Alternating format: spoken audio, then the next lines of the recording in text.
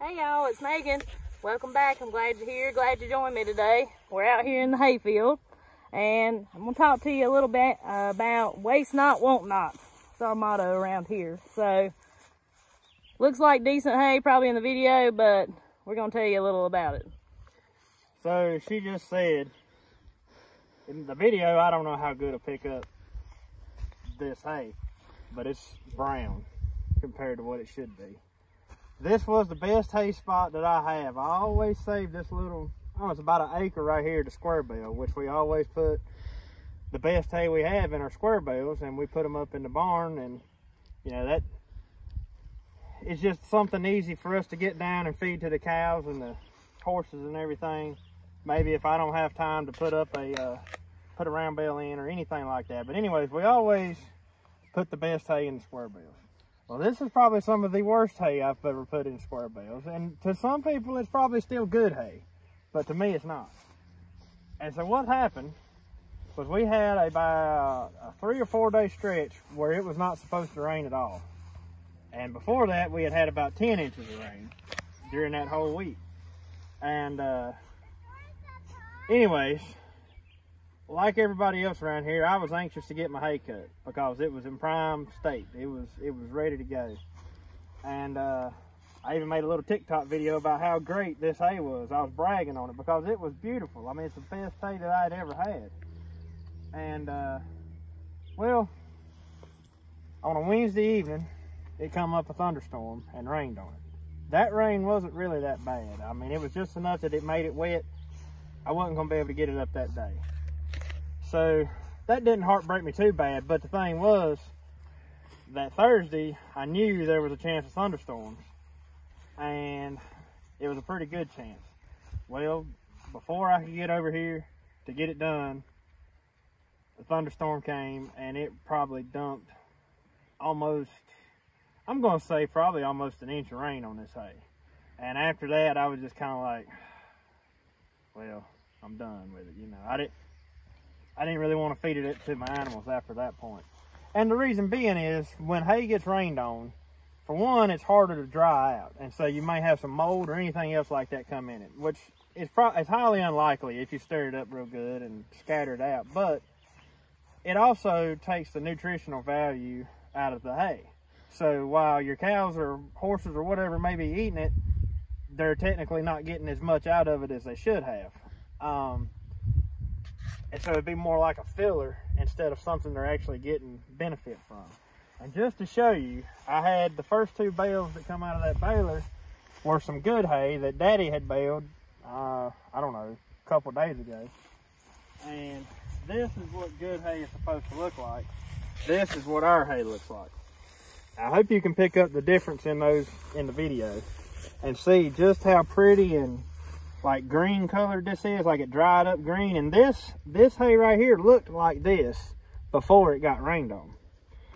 And I was heartbroken. I, and, I, and I'm still kind of heartbroken over it, but here's the thing, as she just said, not, not waste not. And our motto around here is not to waste anything.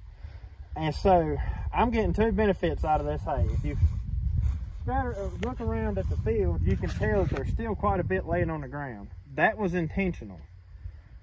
The hay that's laying on the ground is laying there thin enough that it's not going to smother out the grass underneath of it, but it'll break down and go back and feed the soil. This hay that we're baling right here as I've already said, it's been a wet year. And so it's been extremely hard for us to get into our uh, bigger gardens that we normally plow that we'll sell some produce and stuff out of. And so we're going to try to take and scatter this hay out in between the rows. Once I can get through it one more time to get rid of the weeds that's already come in those gardens because it's, it's just been so wet we haven't been able to do anything. Um, once I can get in it one more time, Plus, we're going to stake the tomatoes up. Once you stake tomatoes up, you can't plow through them with the tractor anyways. Um, and we're going to take this hay and we're going to scatter a pretty thick layer around everything. And I'm talking we have at least the neighborhood of a half acre to an acre of sweet corn, tomatoes, and uh, um, sweet potatoes. Sweet potatoes, yeah. I couldn't remember. But uh, we're going to scatter this in between the rows and especially up around the plants. Maybe not in between the rows, but just especially around the plants. And being that it's been a wet year like it has, and it looks like it's going to continue to stay that way, this will serve also as a mulch layer for those to help keep the weeds down. And then by the time this to, to harvest those crops, it'll be starting to break down and that also will feed the soil and go back and uh, benefit us in two different ways. So that's our plan for this hay. It may sound like a whole lot of work for not much return, but in my eyes, it's better than letting it lay here, I mean, just throwing it away. And it had to be got out of the field because it was so thick that it couldn't have just laid here. It would have it would have killed the grass out. But like I said, when I raked this up, I done it on, I intentionally left a thin layer over the whole thing. And like I said, that'll go back to the soil here and help feed this grass and the uh, other hay, the square bale hay. And the reason we're putting in square bales and not round bales is because it'll be easier for us to get in and out of the gardens. I mean, if we'd have had to deal with a big round bale getting it down the rows of the gardens, that wouldn't have been fun. So uh, we're, we're square baling it, so it's going to be a little bit of work to get it out of the field and get it up. But um, yeah, like I said, these are some of the ugliest colored. They're pretty bales, but they're the ugliest colored bales that I've ever done in my life. But we're going to try something here, and if this works, we'll know next time if we have more hay rain get rained on, hey, it's not wasted after all. We're still going to get something out of it. But anyways, I've got two more windrows over here to bale up, and we've got to get started picking this stuff up.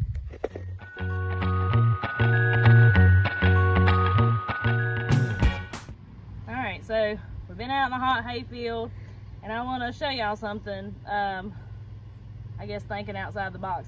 I had these folks send me this right here, uh, wanting me to try it. It's a carafe that's for coffee, that is made by Tiken.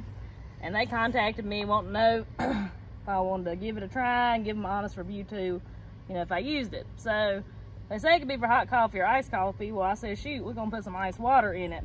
And this right here, I guess where it's supposed to keep coffee hot like all day, and it's really got really thick walls. Um, it keeps water like so cold that it almost makes your stomach cramp if you know what kind of cold water that I'm talking about. And this is what we've been drinking on out in the hayfield. Um, it pours, you just push that little thing because it don't spill. I, you know, it was laying in the truck seat. It can lay sideways or whatever. Take you a cup, pour you a little bit of cold water, and it ain't nothing like it in the hayfield. So they give me a little discount code for this. They ain't too expensive. I believe um, the link will go to Amazon but you get a 10% discount code on it if you want to try one. I ain't making no money off of it, so they just wanted to send me that for free if you wondered if I'm just giving them that to be making money, but I'm not.